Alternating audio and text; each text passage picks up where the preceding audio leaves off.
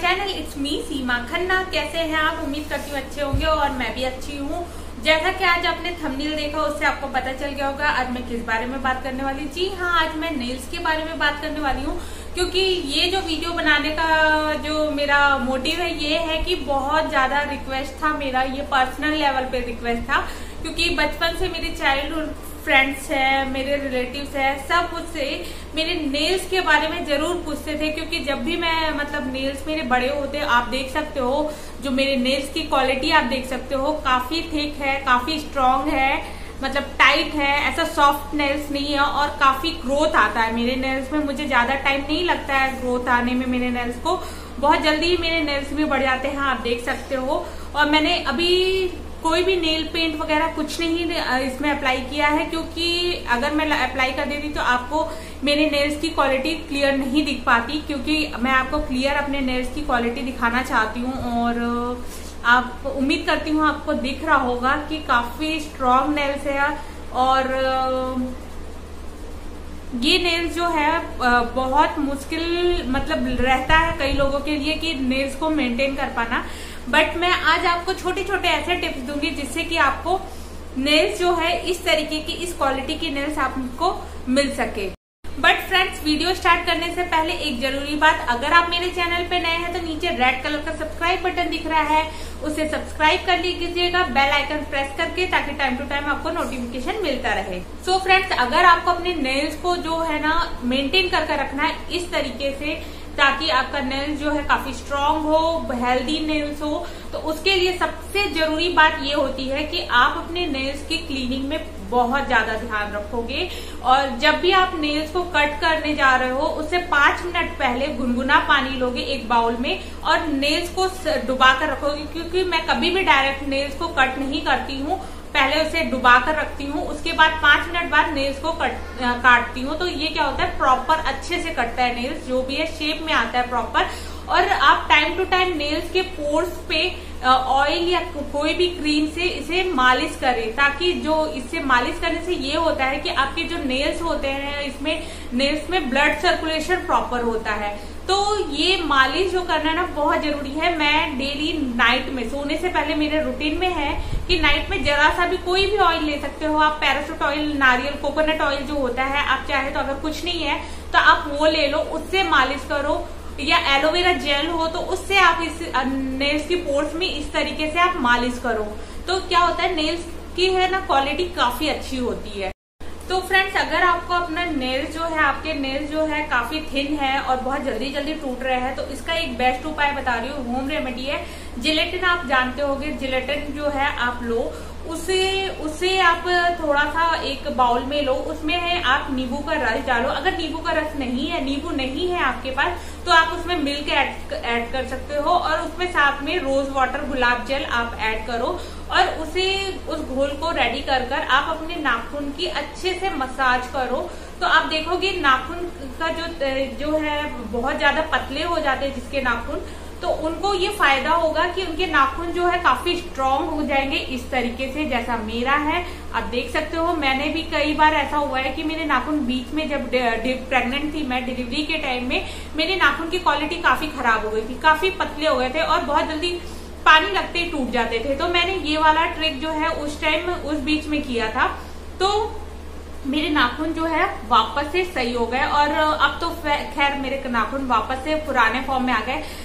तो बहुत अच्छा लगता है अगर आपके नाखून इस तरीके के हो स्ट्रांग हो, जल्दी ना टूटे, क्योंकि हम बहुत मेहनत से नाखून बढ़ाते हैं और गर्ल्स स्पेशली गर्ल्स है लेडीज़ है, उनके नाखून जब एक भी नाखून टूट जाता है ना तो पूरा लुक खराब हो जाता है। तो स्ट्रांग करने के लिए छोटा सा उपाय ज़रूर करें अगर आप स्ट्रांग करना चाहते हैं अपने नाखून को और बहुत ही खूबसूरत लुक देना और नाखून को अगर आपको स्ट्रांग करना है, बहुत अच्छा एक और तरीका है ऑलिव ऑयल जी हाँ ऑलिव ऑयल भी बहुत हेल्पफुल है ये नाखून को स्ट्रॉन्ग करने के लिए। आप ऑलिव ऑयल का मसाज कर सकते हो डेली सोने से पहले।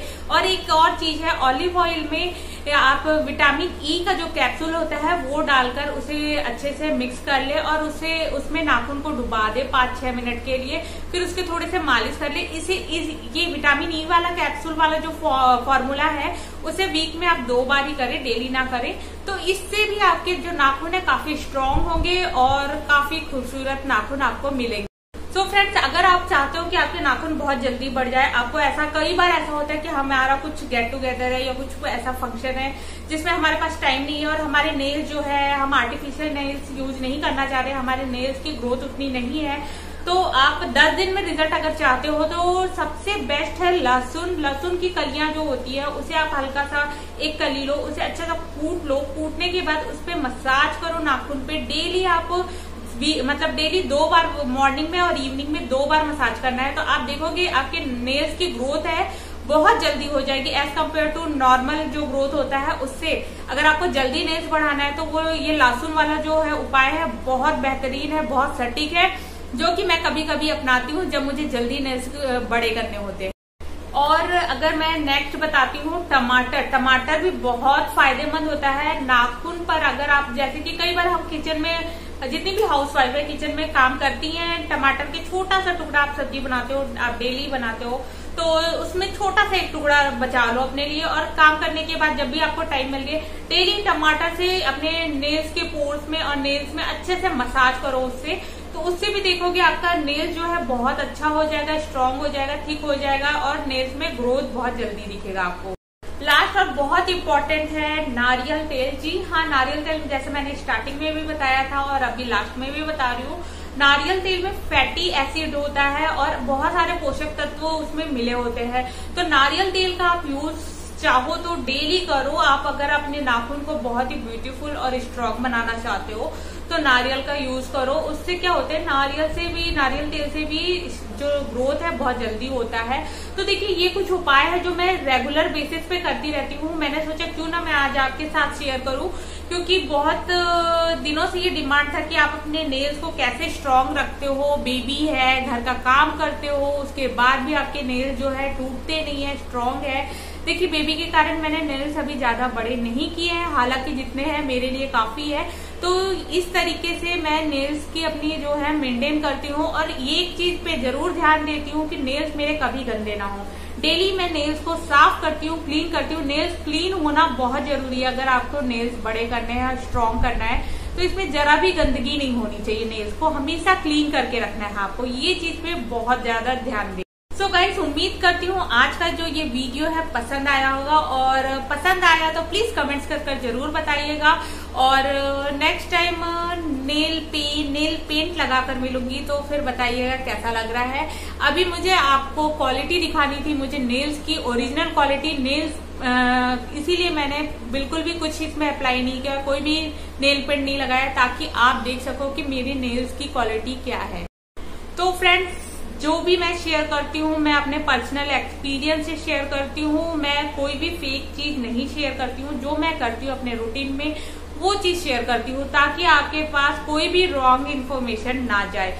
तो उम्मीद करती हूँ आज का वीडियो जो है पसंद आया होगा। अगर पसंद आया तो ज़्यादा से ज़्यादा लोगों तक शेयर करिए जिन्हें इनकी नीड है। तो इस वीडियो को अब मैं यही एंड करती हूँ। जल्दी मिलूँगी नेक्स्ट वीडियो में। Okay bye take care